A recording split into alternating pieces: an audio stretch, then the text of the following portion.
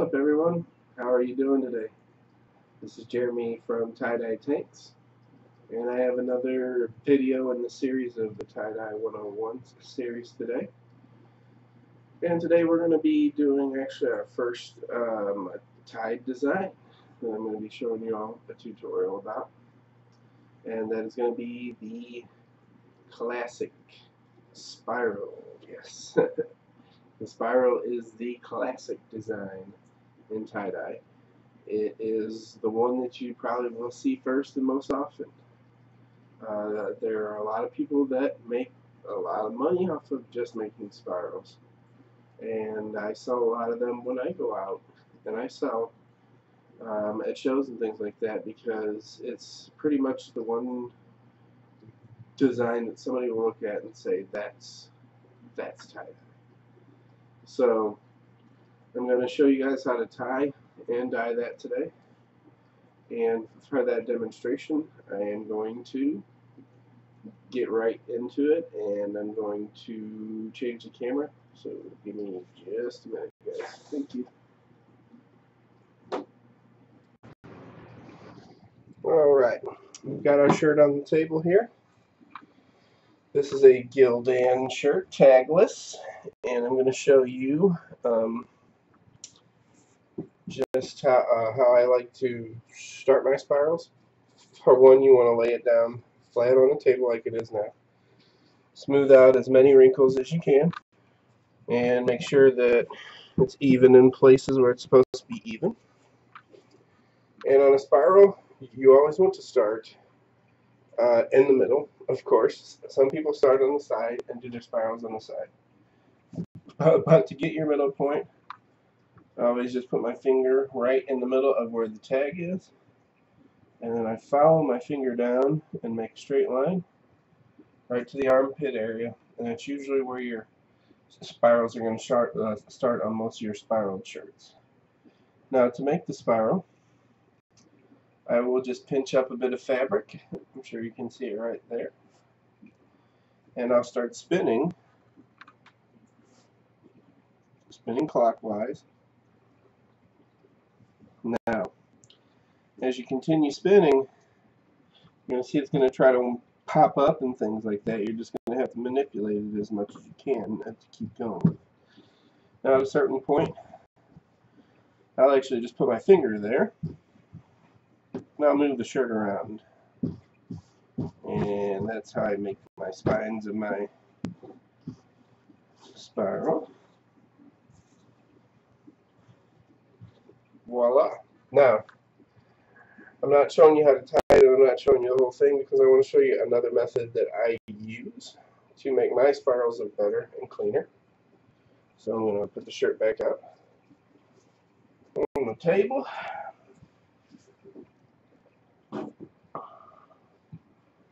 Now I will start at my same center spot, but I'm going to use a tool this time, and these are needle nose pliers. You can use other tools. I've seen things like, uh, I don't know, uh, like a dowel rod with like a attachment on the front of it.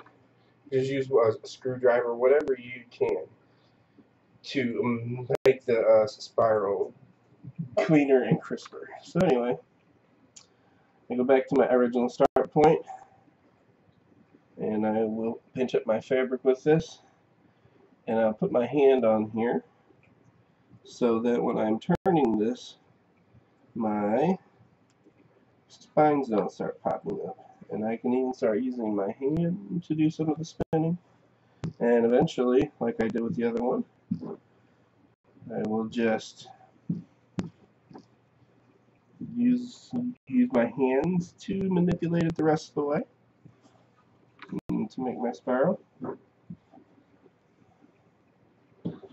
Now,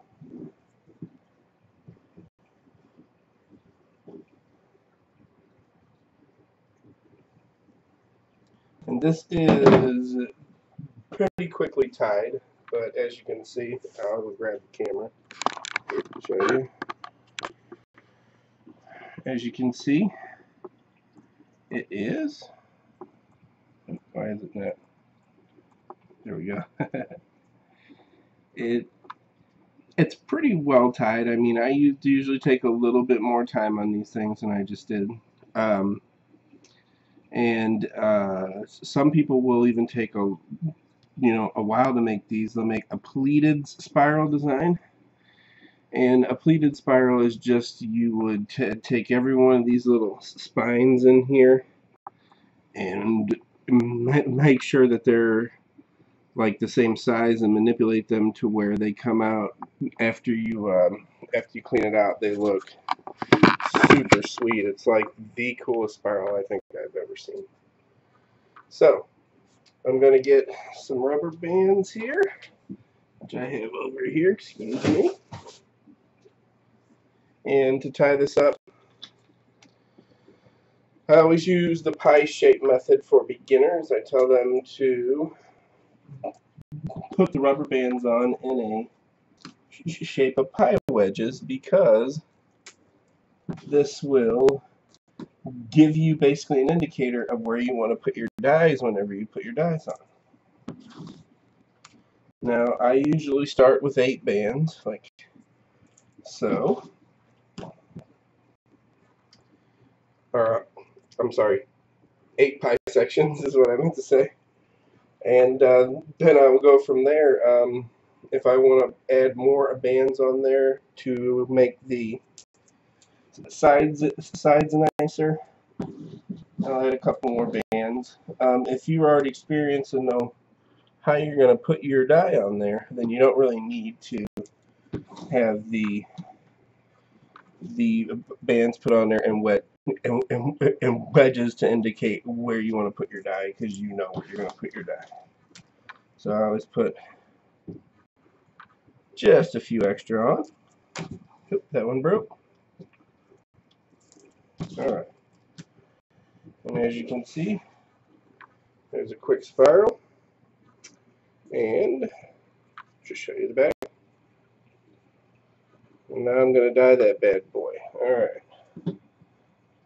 Let me get my tray. Excuse me, I was unprepared here.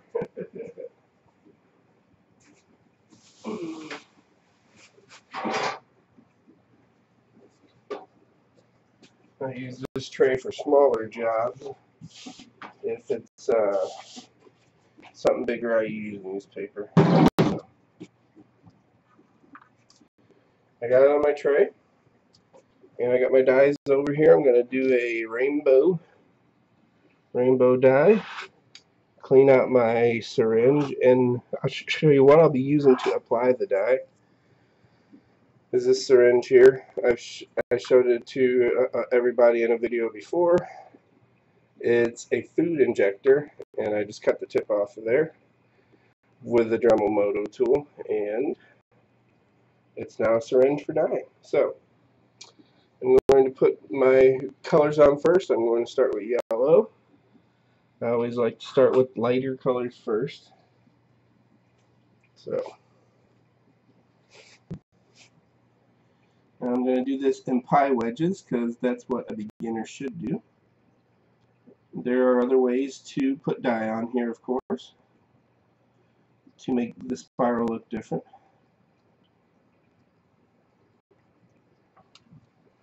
I'm going to make sure I cover that all.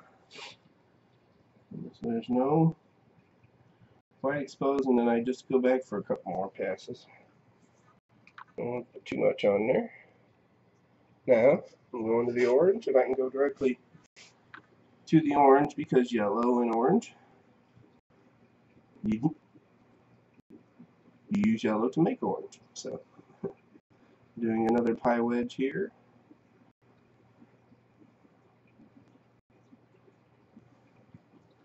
It'll be orange, of course.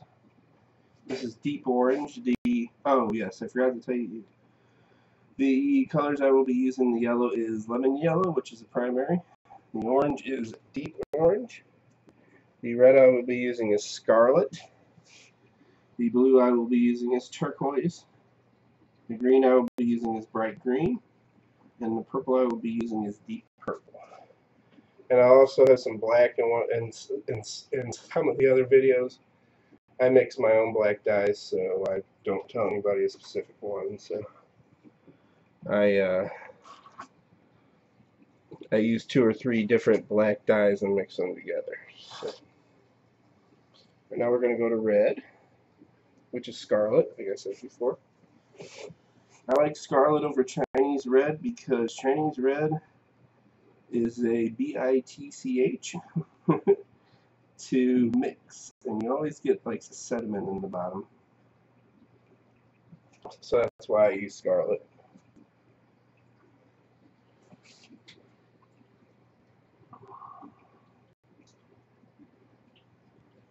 Usually I do these sitting down, but I'm using, I'm doing it standing up so you guys can pay attention to the design and not to my beautiful face.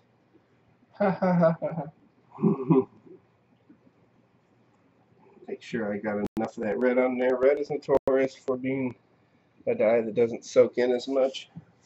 So you gotta put a little extra on there. Okay.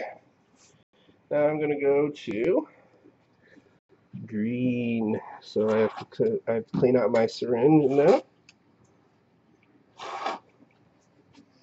Green I'm using is bright green. Put that above the yellow, of course. If you're doing a true rainbow, it's going to be red, orange, yellow, green, blue, and purple.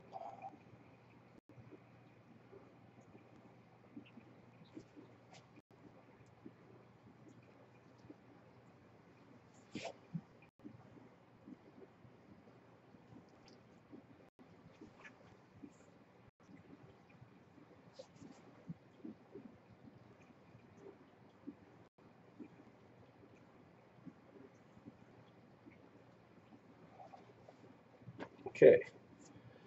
Mm, clean out my syringe and go to blue.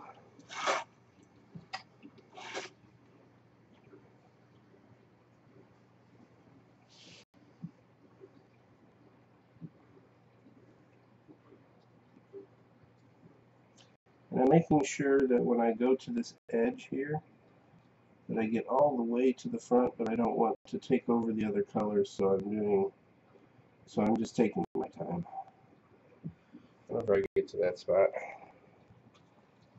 Now this uh, spiral that I'm going to make, I'm going to explain when I turn it over to dye the other side.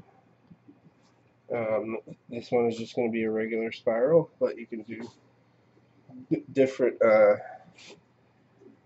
variations of colors and stuff after you turn it over. Alright. Last but not least, we are going to do Deep Purple. Not the band. We're not doing smoke on the water here. We're doing tie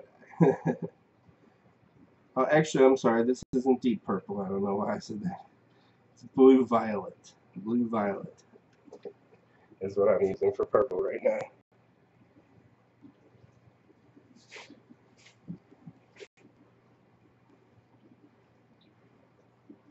Okay. Blue Violet gives off a cool blue cast. So if you do have any white areas, it's usually blue because of the cast. Okay, anyway, I've got this all dyed and I've got all my pie wedges dyed. Oh, I'll pull it a little bit closer and show it to you. So now I'm going to flip it over and do and now I'm going to do the same thing as on this side. But like I explained before, there's different color variations you can do. You can slide all the slide all the colors over one and do like a a reverse rainbow. Um, you can do black or any other solid color on the side. You could do say one half color and then one half another color. It's really your your choice. But to show you a basic spiral, I'm just going to dye it like a normal rainbow color.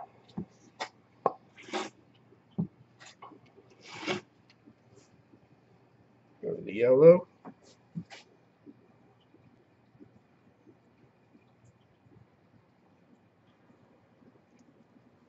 And I don't have to saturate it as much as I did before. I'm going to make sure that it's dyed, but you don't have to put that much in there because, of course, the other side was dyed pretty thoroughly.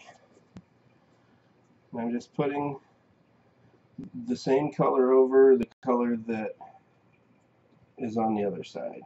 So yellow over yellow, orange over orange, red over red, etc.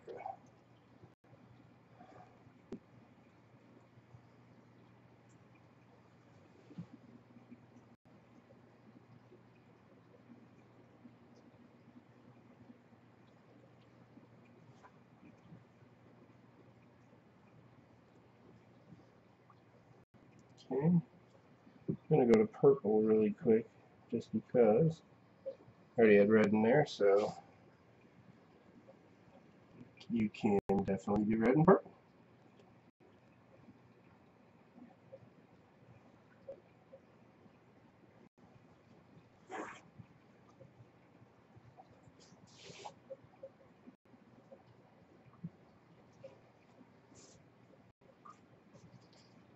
Clean syringe one more time.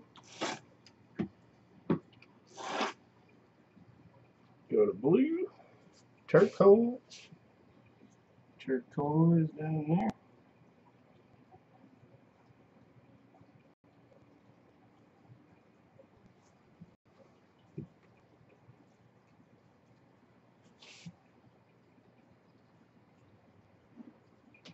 Okay. Last but not least, the bright green.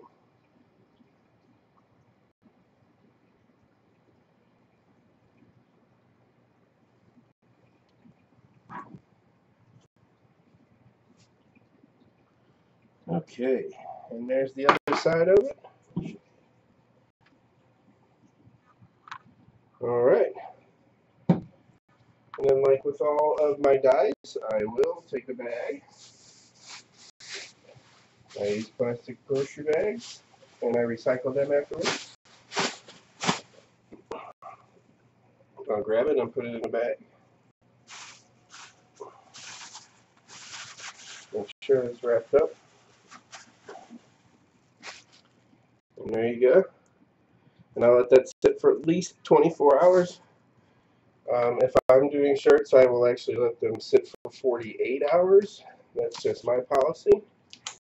Um, and then once this bad boy is ready, you'll rinse it out. And I will have a video on that procedure um, here soon. Um, and I'll, I'll actually rinse this shirt out. And I will reveal it in that video and uh, I'll show you the proper rinsing techniques and uh, show you some secrets that I use.